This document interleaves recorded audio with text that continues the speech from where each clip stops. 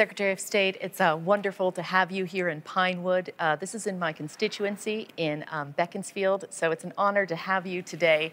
Um, today, I wanted to ask you um, it seems like a lifetime ago, February seems a lifetime ago, and I wanted to ask you what were your priorities when you started, and what are your priorities now? And have they changed at all, or, or what's the sort of um, you know, trajectory for the future?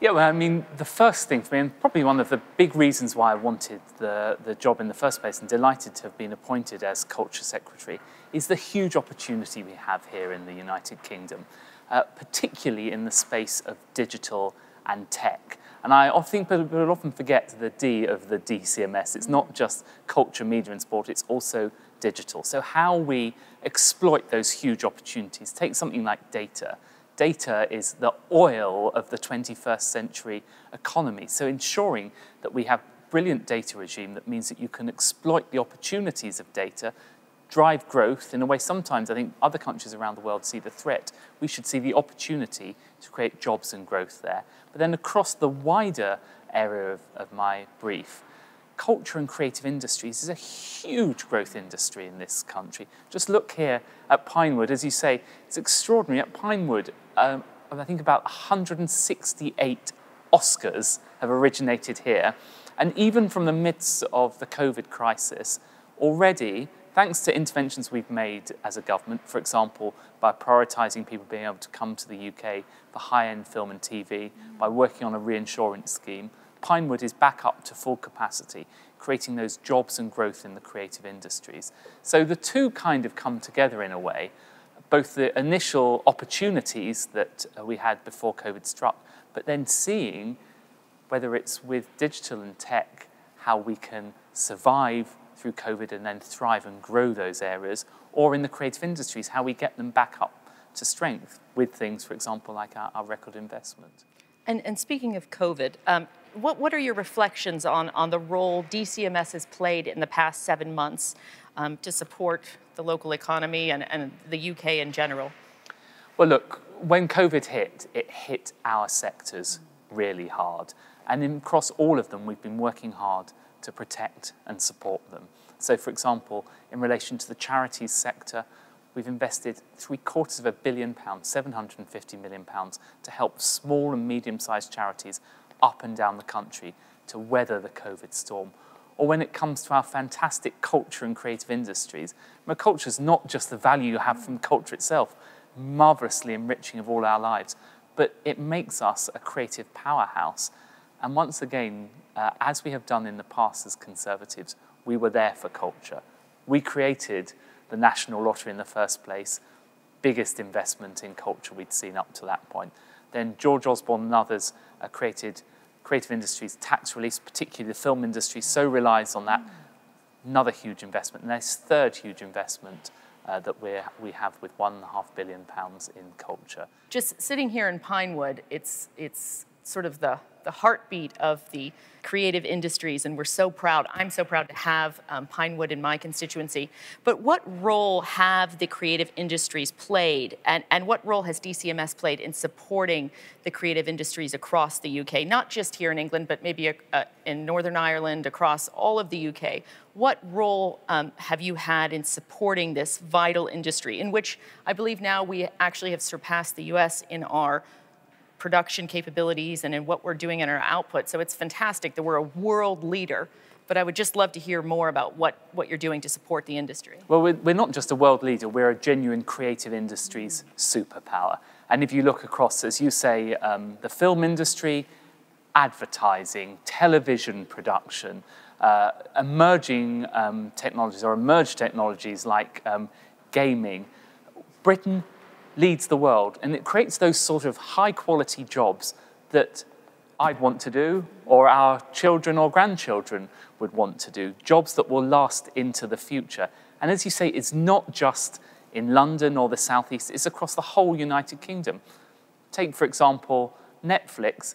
Netflix films in Newport in Wales a show called Sex Education, which is actually a, a comedy drama, but that is exported around the world and is a hit in Saudi Arabia. And that, in its own way, is uh, projecting our soft power around the world. Or take um, Game of Thrones filmed in Northern Ireland, or countless productions uh, in and around Edinburgh, another fantastic hub of, of film and television. And actually, when I was up in um, Edinburgh recently, you, you can see the, the creative power in the digital um, industries there as well. And I really see the, the opportunity here in DCMS is to drive jobs and growth in those areas. And I, am tremendously excited about the opportunities that we have. Um, I just want to thank you for what you did during COVID for the 1.5 billion that you invested in, in culture and heritage. And would you tell us more about what DCMS is doing and, um, and sort of how you're getting that money out to the front lines? Well, the reason why the Prime Minister, the Chancellor, and I really wanted to make this investment in our culture, as I say, Conservative Party once again proving we and not the Labour Party are the party of culture. It was us that created the lottery. It was us that created uh, creative industries uh, tax breaks preserving what makes us such a wonderful nation. We were talking about our creative industries. They rely on great institutions like the Victoria and Albert Museum in London or wonderful museums in uh, Birmingham, Manchester, but not even places like, places like Walsall, fantastic art gallery in, in Walsall. That drives our, our creative industries. So we were determined to protect that essential architecture it, determined to protect our theatre. Think of the number of films and TV shows that originate in our theatres. And we didn't want the temporary challenge, however great it is of COVID, to mean that we lose that cultural richness that enriches all of our lives. Think, for example, of um, our great orchestras. If you take, for example, um, the Royal Ballet, the Royal Ballet now competes with the Bolshoi. The same people that do the lighting and rigging for that can also have jobs here at Pinewood. They can have jobs in TV is a sort of uh, culture that feeds one another, um, and it was essential that we preserve that.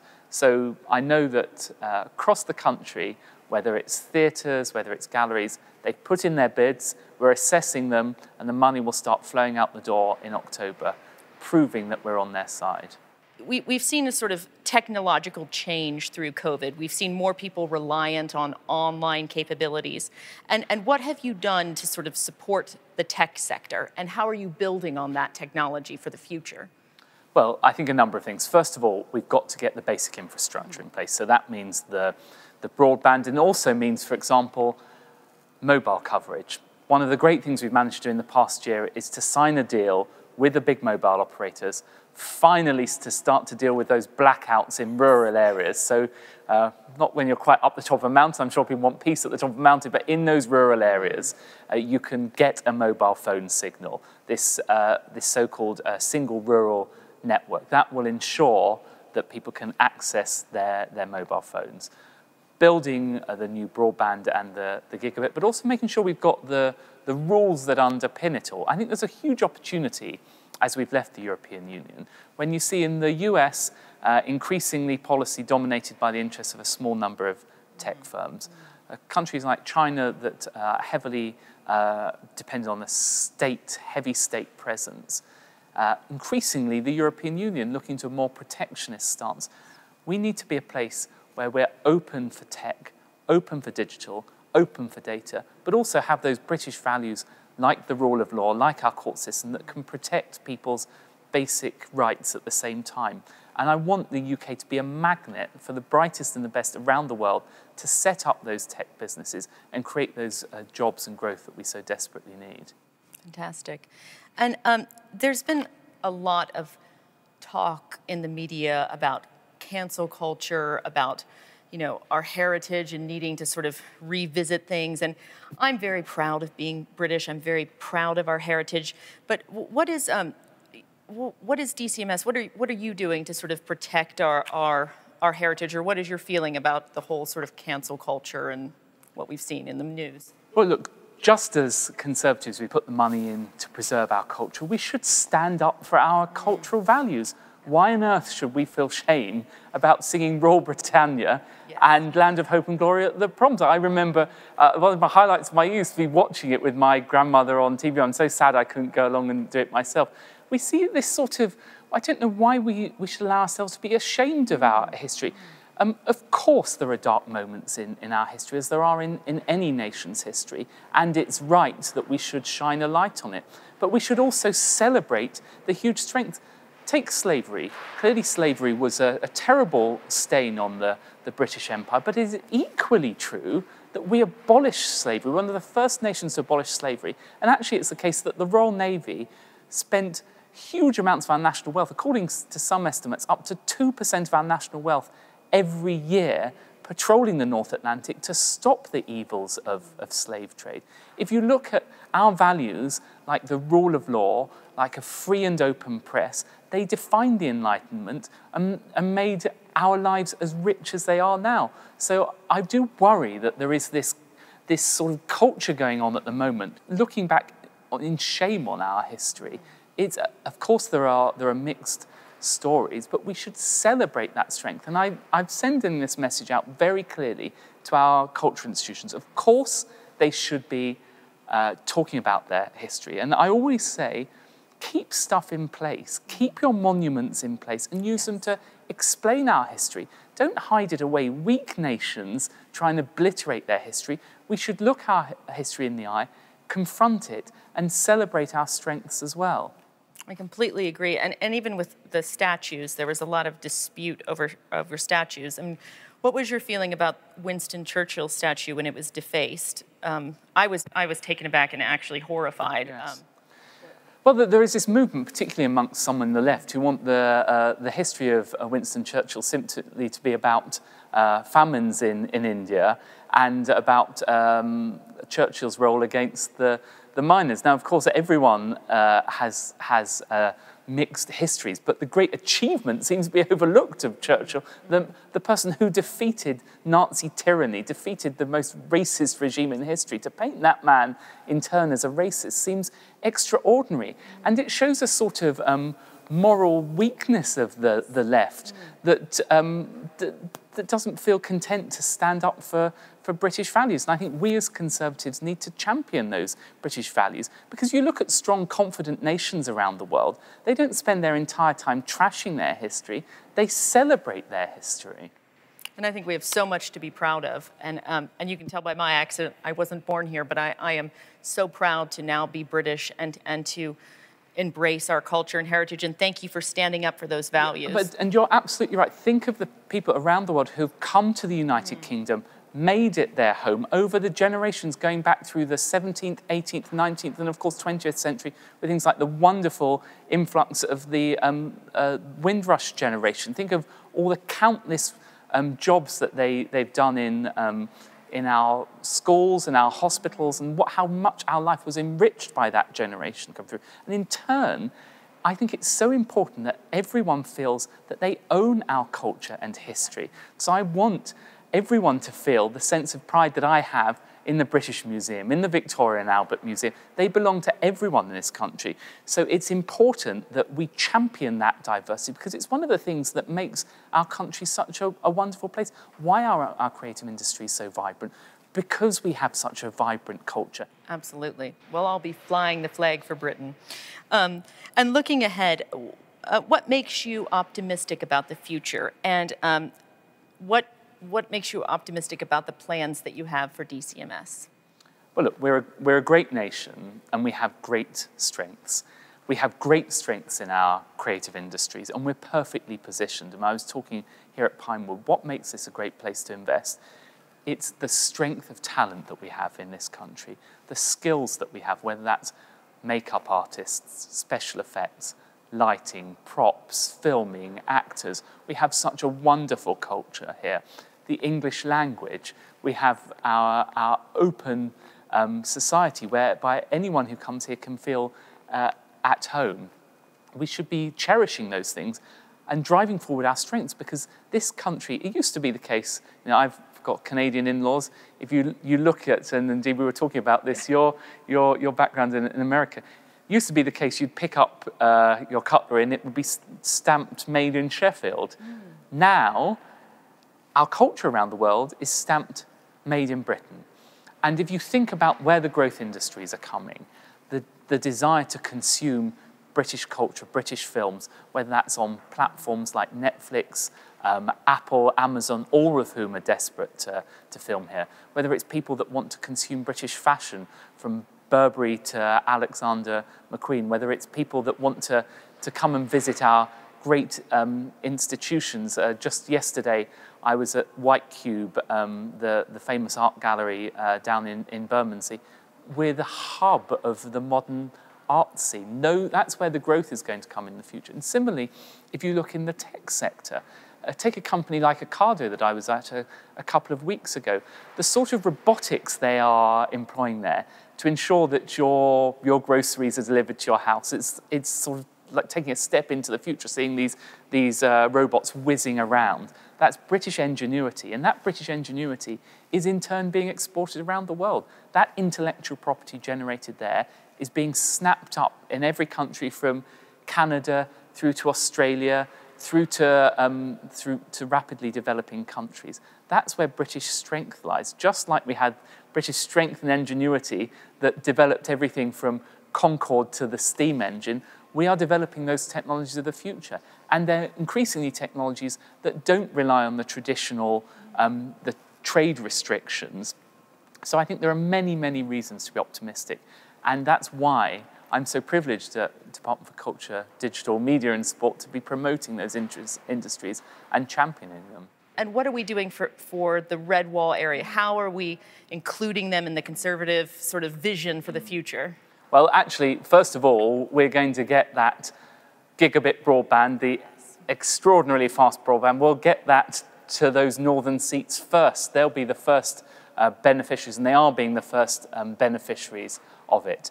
In relation to our culture, too often culture has been focused on London and the southeast. We've got our Cultural Investment Fund. That is about helping to ensure that cultural experiences are shared around the whole of the UK and particularly in those, those northern red wall seats. Take, for example, the Walsall Art Gallery, a fantastic institution.